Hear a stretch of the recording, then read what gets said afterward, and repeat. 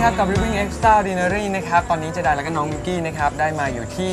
ร้าน Sit Around นะครับปกติแล้วต้องถามก่อนเลยว่าน้องมิกกี้เนี่ยเป็นคนที่ชอบปาร์ตี้หรือเปล่าก็มีบ้างค่ะ feel ไหนครับเป็น feel แบบว่านั่งสบายๆหรือว่าเป็นแบบปาร์ตี้แบบเต็มๆเลยสบายๆบ้างเต็มๆบ้างแล้วแต่ แล้วแต่โอกาสใช่แล้วส่วนไหนมากกว่ากัน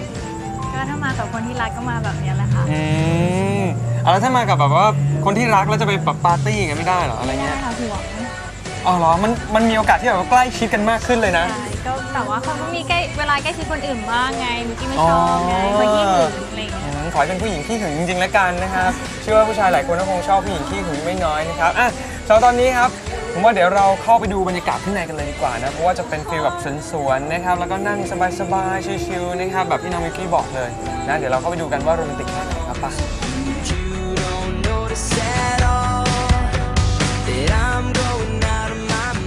ซิ t อ r o u n d ร้านอาหารในบรรยากาศผ่อนคลายสบายๆ ภายในร้านแบ่งออกเป็น 3 โซน มีทั้งโซนด้านนอกที่ร่มรื่นไปด้วยต้นไม้นานาชนิด ทำให้ได้บรรยากาศสุดชิลเหมาะสำหรับนั่งจิบเครื่องดื่มเย็นๆ แกล้มกับดนตรีเพราะๆที่อยู่ในสวนด้านหน้าของร้าน และโซนด้านในเป็นห้องคาราโอเกะที่เหมาะสำหรับลูกค้าที่ชื่นชอบปาร์ตี้กันแบบส่วนตัวส่วนตัว ใครที่แวะผ่านไปผ่านมาแถวๆซอยมหาไทย หรือลาดพร้าวซอย 122 แล้วล่ะก็ เชิญที่ร้าน Sit Around นะครับ รับรองไม่ผิดหวังแน่นอน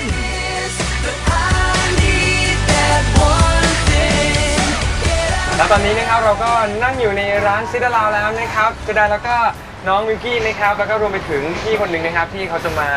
พูดถึงเรื่องราวของร้านนี้นะครับแบบเจาะลึกนะครับรวมถึงอาหารด้วยนะครับนั่นคือพี่โมสเจ้าของร้านนั่นเองนะครับสวัสดีครับสวัสดีค่ะ ให้พี่โมสแนะนำตัวเลยครับชื่อโมสค่ะ ก็ทำร้านอาหารตอนนี้เปิดมาประมาณ 2 ปีแล้วค่ะ ชื่อว่า Sit Around Sit Around นะครับ อันนี้เนี่ยอยากรู้ว่าชื่อร้านนะพี่มาจากไหน Sit Around ก็คือจริงๆโมเป็นคนคิดเองเลยแหละ คือตอนแรกก็คือจะพยายามหากิมมิคอะไรที่มันแบบฟังง่าย ๆ แล้วก็รู้สึกแบบ relax เช่นคำว่า sit มันเป็นคำที่เข้าใจง่ายใช่ไหมคะแล้วก็อาราวนี่มันคือ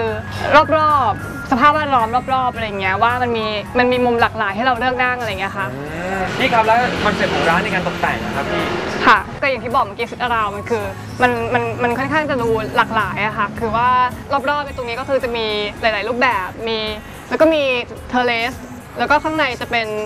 ห้องจัดเลี้ยงอะค่ะ แต่ละโซนตรงข้างนอกอย่างเงี้ย อันเนี้ยมันก็ไม่เหมือนใครอยู่แล้ว มันเหมือนมีอันแค่อันเดียวใช่อืไหมมพี่ ใช่ใช่แต่ละอันมันจะแบบโอ้โหแตกต่างกันแตกต่าง อาจจะเรียกว่ามั่วหรือเปล่าไม่รู้นะแต่มันก็โอเคลงตัวนะแต่พอรวมกันแล้วมันดูนะลงตัวไหมอย่างดนตรีครับ เนี่ยมี turntable ด้วยที่ผมเห็นอยู่ตรงนี้ ค่ะ พี่ก็อีก พี่เล่นเองเลยเหรอครับ บางทีก็นานๆทีก็จะมาร่วมด้วยเสมออะค่ะ นี่ก็เริ่มเล่นแล้ว นี่ประมาณกี่โมงครับพี่ จะเล่นช่วงเออสามทุ่มครึ่งเป็นต้นไปค่ะ จนถึงห้าทุ่มอะค่ะ นี่คือวันละวงครับพี่วันละวงค่ะ แต่เราจะสลับเปลี่ยน บางวันก็สองวง ส่วนใหญ่วันวันที่มัน prime time วันศุกร์เสาร์จะเป็นสองวง แต่ว่าทั่วๆไปก็จะเป็นวงเดียวอืมคือยังไงครับลุงนุ้ยมันเป็นความพิเศษยังไง ปกติแล้วอะถ้าร้านอาหารเนี่ยเขาต้องยกครัวเข้าไปอยู่ข้างใน ค่ะ แต่อันนี้มันเหมือนเป็นฟิลแบบริมทะเลก็ก็ไม่เชิงประมาณนั้นป่ะพี่ ก็แบบว่าอยากให้คนมีส่วนร่วมกับกิจกรรมตรงนี้ค่ะ แขกอะไรเงี้ยค่ะ ก็คือมาปิ้งเองได้เลยค่ะก็จะมีเอ่อ มีปลา มีกุ้ง มีทะเลใช่ไหมคะ แล้วก็จะมีเอ่อเนื้อ มีหมู มีหมดครบอะค่ะค่ะแล้วอาหารที่นี่นี่มีอะไรแนะนำบ้างคะพี่ค่ะ ตรงหน้านี่คืออะไรบ้างที่ตรงหน้านะคะพิเศษเลยก็วันนี้จัดมาก็มีส้มตำเอ่อหอยเชลล์นะคะ ด้านนั้นด้านนั้นค่ะ โอเคแล้วก็อันนู่นไกลๆนู่นคือจะเป็นเอ่อปีกไก่ซอสต้มข่าค่ะ อ๋อคือเหมือนต้มข่าเอาน้ำ น้ำต้มข่ามาราดบนไก่ค่ะค่ะสูตรก็คือเอาต้มข่าไก่เลยอะแต่มาคั่วให้เป็นซอสอ๋อค่ะมันจะเหนียวแล้วข้นแล้วก็คือมาราดลงไปบนไก่ทอดของเราค่ะค่ะลองดูเลยไหมครับ เอาเอาจะกินกันเลยใช่ไหมลองเลยดีกว่าครับผมว่าอย่าช้ากันเลยดีกว่าครับเอาเลยขอค่ะอนุญาตใช้ช้อนซ่อมแล้วกันนะครับเดี๋ยวผมตักให้ครับว่าได้ก็ได้นะถ้าป้อนไม่ใช้ช้อนนะครับใช้อะไรคะมือใช้มือไก่ทอด ต้มข่า คนจริงด้วยแล้วก็มีมีรสชาติเหมือนแบบไม่เรียกว่าต้มข่าไก่อะไรประมาณนั้นค่ะใช่ใช่ค่ะเอาย้อนกลับมาที่ส้มตำนิดนึงที่ อันนี้เนี่ยคือหอยเชลล์ใช่ไหมค่ะ ของส้มตำหอยเชลล์จานเนี้ยมันแตกต่างกับส้มตำที่อื่นไง ก็มันปกติมันมีหอยเชลล์ปะล่ะไม่มีนั่นไงนั่นไง หอยเชลล์มันอืจะมได้รสชาติของความกรึบๆอะมันจะมันจะนุ่มแล้วมันก็จะแต่ว่ามันไม่เหนียวสังเกตอ่าฮะ ใช่ไหมมันมีอะไรที่มัน ทำให้เข้ากับน่าจะเข้ากันได้กับใช่ส้มส้มตตำมาที่จานต่อไปเมนูต่อไปนี้คืออะไรเอ่ยอไข่ตุ๋นในรูปมะพร้าวอ่อนค่ะ แล้วยังไงครับทำไมมันถึงไปอยู่ในมะพร้าวได้ครับพี่ ที่นี่ก็หลักๆคือจะเป็นไทยฟิวชั่นอยู่แล้วใช่ไหมคะ ครับผม ส่วนตรงนี้คือสูตรเฉพาะเลย ก็คือบอกได้เลยว่าคือปกติเนี่ยไข่ตุ๋นเวลาเขาตุ๋นเขาจะใช้น้ำร้อนๆเพื่อทำให้ไข่มันสุกใช่ไหมคะแต่อันนี้เราใช้น้ำมะพร้าวเลย เพื่อให้ไข่มันสุกแล้วมันจะได้มันไม่ได้กลิ่น มันจะหอมของกลิ่นของแบบน้ำมะพร้าวเลยค่ะ ไม่เชื่อต้องลอง เออแต่ก็เป็นไข่ไข่ตุ๋นที่แบบว่ามีกลิ่นมะพร้าวแล้วก็ดูเข้มข้นด้วย มาที่จานต่อไปครับพี่ อันนี้คือดูแบบอลังการมากๆเลยสุกี้ต้มยำกุ้งสุกี้ต้มยำกุ้งค่ะ ก็คือเป็นเป็นต้มยำในรูปแบบสุกี้อ่าใช่ละโอ้ยังไงเริ่มเข้าใจแล้วนี่ตั้งแต่ตรงนู้นมาตรงนี้ถูกนะเริ่มมีพัฒนาการ 1 2 3 4 นะครับนะครับ แต่ว่าอาหารแนะนำของที่นี่เนี่ยก็ไม่ได้มีแค่ 4 อย่างตรงนี้ ใช่ไหมพี่ความจริงมันยังมีอีกเยอะโอ้เยอะมันเป็นมาก มันเป็นฟีลแบบว่าไทยฟิวชั่นอะพี่ ค่ะใช่ค่ะ ถ้าสมมุติว่าใครที่อยากจะลองมาที่ซิตาลาวนะครับ แล้วก็มาลองดูบรรยากาศแบบนี้นะครับ รวมถึงกินอาหารอร่อยๆแบบนี้ครับ ตั้งอยู่ที่ไหนครับพี่ เอ่อลาดพร้าว22 ค่ะ ซอยมหาดไทย หรือเข้าอีกทางได้ก็คือเอ่อรามคำแหง65 ค่ะ พอซอยนี้จะทะลุได้แยกห้าค่ะ แยกห้า ก็เข้ามาสมมติเข้ามาจากเส้นลาดพร้าวปั๊บ122 แยก 5 อยู่ทางซ้ายมือ อ่าใช่ค่ะ ก็จะเจอซิตาลาวเลยนะครับ เออแล้วเบอร์โทรล่ะคะพี่ 02 934 1778 ค่ะ แล้วก็ Facebook นะคะ Sit Allow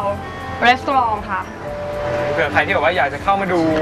ว่ามีโปรโมชั่นอะไรหรือเปล่า หรือว่ารู้บรรยากาศอะไรพวกนี้ใน Facebook นี่อัปเดตตลอดแน่นอนใช่ค่ะ นะครับแล้วถ้าสมมติว่าใครอยากจะจองโต๊ะก็โทรมาได้เลยค่ะ ปาร์ตี้ปาร์ตี้มีอะไรเซอร์ไพรส์ใช่ค่ะ จัดให้ได้หมด ค่ะ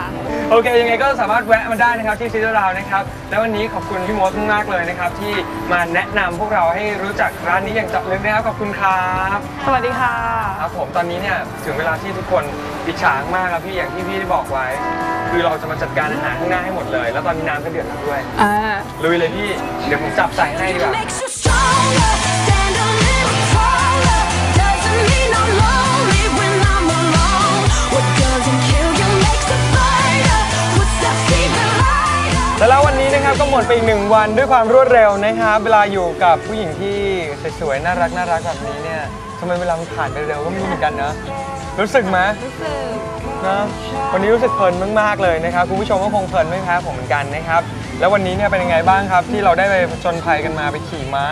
ตื่นเต้นไหมก่อนที่เราจะขึ้นไปก็นิดนึงเพราะว่าม้ามันแบบไม่รู้ว่ามันไม่อยู่กับที่อะใช่ไหมก็เลยแบบน่ากลัวแล้วมันเป็นสิ่งมีชีวิตอะที่เราไม่รู้ว่าอยู่มันจะคิดอะไรอยู่ มันจะทำอะไรต่อไปอะไรอย่างนี้ใช่ไหมไม่เหมือนจักรยานกับมอเตอร์ไซค์หรือว่ารถอะไรอย่างเงี้ยคือเราเดาใจมันไม่ได้นี่เองนะครับก็เป็นประสบการณ์แปลกๆนะครับที่ ทางน้ำมันด้วยสนุกสนานด้วยแล้วก็ตื่นเต้นนะนะครับ แล้วก็มาปิดท้ายกันด้วยมื้ออาหารสุดพิเศษแบบนี้นะครับ กับบรรยากาศดีๆ ที่ Sit Around นั่นเองอะเดี๋ยวสุดท้ายครับ ให้น้องมิวกี้ฝากผลงานดีกว่า ถึงแม้ว่าตอนนี้เนี่ยจะประกาศผลกันไปเรียบร้อยแล้วนะครับสำหรับ Sexy Real Girl ซีซั่นที่ 6 นะครับ แต่ว่าเราอัดรายการอยู่ตรงนี้เนี่ยอาจจะไม่รู้นะครับว่าผลเป็นยังไงนะครับ ยังไงก็อยากให้น้องมิวกี้ฝากผลงานไว้เลย ฝากเชียร์มินนี่ด้วยนะคะ กับ Sexy Leo Girl ซีซั่น6นี้ค่ะ ยังไงก็จะได้ติดตามผลงานของมินนี่กับทางอ่าดูนี่ตลอดอยู่แล้ว อืมน่ารักมากนะครับ แล้วว่าเอ่อถ้าสมมติว่าใครที่แบบว่าอยากจะเข้าไปดูใน Facebook มีไหมครับ นี่แฟค่ะ นเพจอะบอกได้เลยก็เข้าไปที่มิวกี้ปัทยานะคะ ก็จะเจอมิวกี้อ่าก็แอดเป็นเพื่อนกันได้นะครับ แล้วก็เข้าไป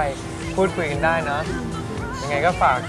น้องน่ารักน่ารักคนนี้ไว้ด้วยละกันนะครับ ส่วนวันนี้นะครับ เวลาของ Living Extra n e w ของเราก็หมดลงแล้วนะครับ ยังไงครั้งหน้ากลับมาติดตามดูกันต่อละกันนะครับ ว่าผมจะพาไปที่ไหนนะครับ แล้วก็ไปเจอเจอสาวเซ็กซี่คนไหนนะครับ รวมถึงเมื้ออาหารเจ๋งๆ แบบนี้บรรยากาศดีๆ แบบนี้ด้วยนะครับ ที่ดูทีวีเมจภาพขาดไม่ได้นะครับ แล้ววันนี้ต้องขอขอบคุณลีโอเบียนะครับเสน่ห์ง่ายๆที่ดูดีนะครับ ส่วนวันนี้เราสองคนขอตัวลาไปก่อนแล้วกันเนาะครับผมสวัสดีครับ